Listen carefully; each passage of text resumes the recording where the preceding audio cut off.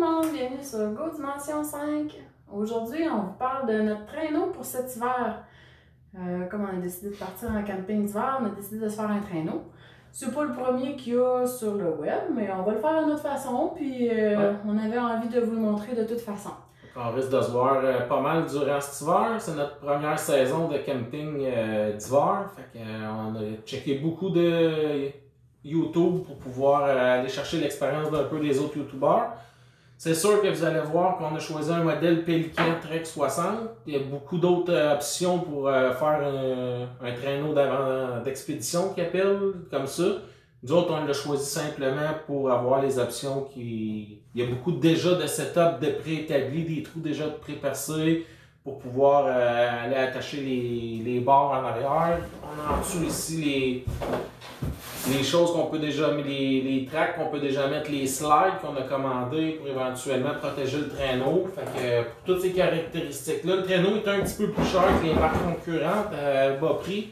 Mais nous autres, c'est celle-là qui nous intéressait, qui nous intéressait le Pélican Trek 60. Fait que, euh, on va débuter. Comme le montage, euh, c'est pas sorcier, on n'a rien inventé, on s'est servi vraiment de ce qu'on voit sur YouTube pour pouvoir l'adapter à nous autres avec nos modifications à nous autres. Fait que, on va, on va décoller ça tranquillement pas vite. Je vais commencer à coller le, le collant tout le tour pour pouvoir faire un pré-perçage de trous qui va nous servir à une corde.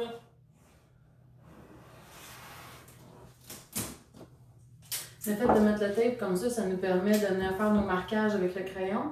Puis après ça aussi, quand on va percer, euh, ça risque de nous aider à ce que ça échiffre pas trop le trou avec la mèche. Il faut serrer ce pas trop bon.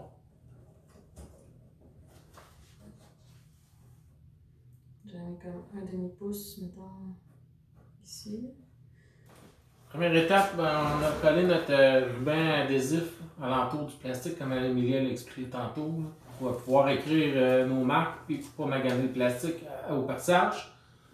Ensuite, on a vraiment préétabli nos points que nous autres, on voulait stratégiques pour éventuellement attacher nos, notre matériel à l'intérieur.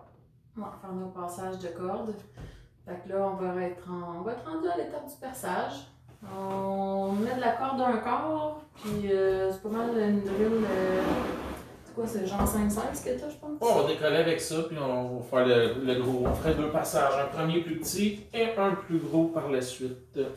Alors, c'est parti pour le pré-passage. À toi de jouer.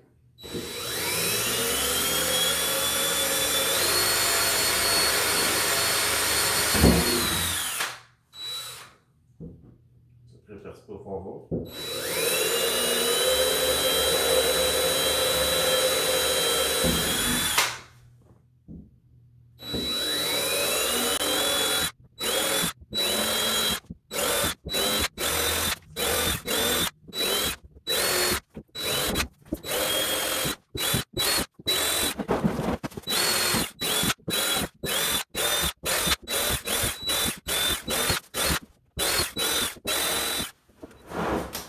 Le premier passage a été effectué.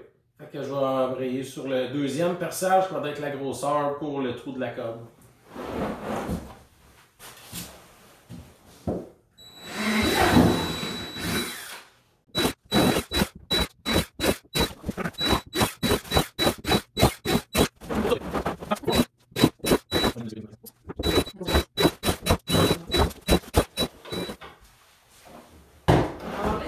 Sont faits. Mais bon, ceux dessus sont quand même beaux. hein. Ouais, ils sont beaux. En dessous aussi, comme ça. Ouais, Ouais, c'est assez étonnant. Alors, on va maintenant pouvoir être prêt à passer notre corde. On a tous nos perçages de fait. Donc, euh, Pat, il est là, la corde a un corps qu'on a. Je t'ai mêlé dans la corde, là. Oh là! Oh là là!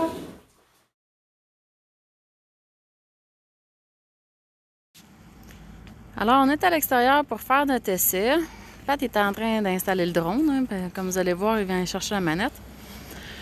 Là, on s'est rendu compte que notre vidéo s'était arrêtée à l'intérieur. Donc là, ce qu'on a fait, c'est qu'on a coupé nos pôles à 7 pieds de longueur. Pat, il mesure pas loin de 6 pieds. Euh, on a fait des tests par rapport à l'angle que ça donnait. Euh, on a défini que 7 pieds, ça devrait donner un bon angle.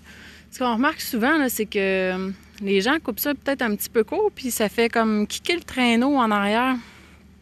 Donc, euh, ça force, ça vous force dans le fond à traîner une charge verticale sur votre sac à dos, votre harnais. Alors nous, on a essayé de le faire assez long pour que le traîneau reste au sol tout le temps, puis que ce soit vraiment juste la force de glisse euh, qui est à combattre. Donc pour attacher après le traîneau, on a mis des œillets très très standards. Mais de l'autre côté, on a trouvé un petit produit qui était quand même pas pire, qui vient comme ça avec euh, des petites attaches velcro. Ça va permettre à Pat, en fait, euh, parce que c'est Pat qui va être surtout le porteur, là, bien que ça peut arriver que ça va être moi aussi. On a trouvé des petites attaches avec un velcro comme ça qui vient euh, avec un swivel, puis c'est vraiment super bien fait. Ça va permettre de l'attacher après le sac à dos, après les ceintures du sac à dos, sans l'attacher après les petites ganses qui sont super fragiles. Comme ça, on a moins de chances de briser le sac à dos. Alors, on a attaché ça aux deux extrémités avec euh, toujours notre corde d'un quart euh, de pouce qu'on avait. C'est ça ici, le petit kit de velcro qu'on a trouvé, ben, que Pat a trouvé en fait quand il est allé faire son tour de quincaille. Donc, euh, on trouvait ça super intéressant. Aussi, pour attacher les bâtons en X, on a trouvé un autre truc, un autre produit velcro qui va nous permettre vraiment de faire la tâche en X au milieu des deux bâtons. Ça devrait être euh, solide en masse, ça va nous permettre de faire euh, quand même une coupe de tour autour pour que les deux bâtons puissent glisser aisément l'un sur l'autre. Alors, euh, ce qu'on vous disait aussi, c'est que au lieu d'installer, on a vu dans d'autres vidéos, il y a des gens qui viennent installer une braquette avec un œillet ici sur le dessus. Nous, on va être capable d'utiliser la bâche qui vient avec le produit Pelican. Alors, on ne pouvait pas venir faire la tâche à partir du dessus. Il fallait vraiment utiliser le système d'attache qui est à l'intérieur du traîneau pilquant. Alors, on s'est acheté des goupilles rapides. Vraiment pas cher, super efficace, très, très facile à installer, là, comme vous pouvez voir.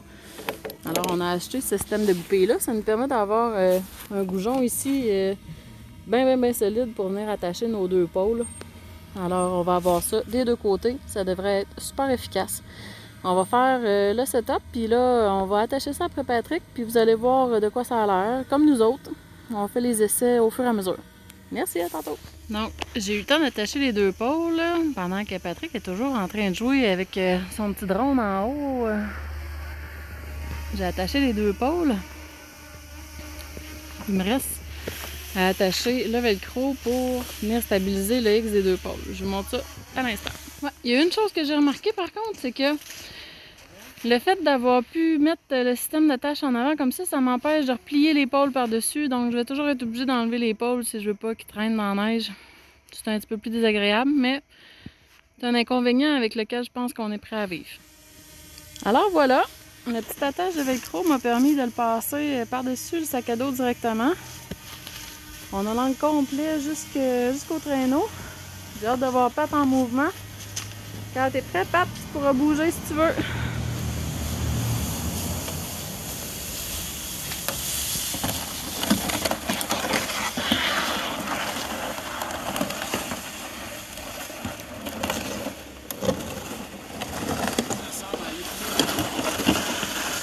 C'est fantastique ça.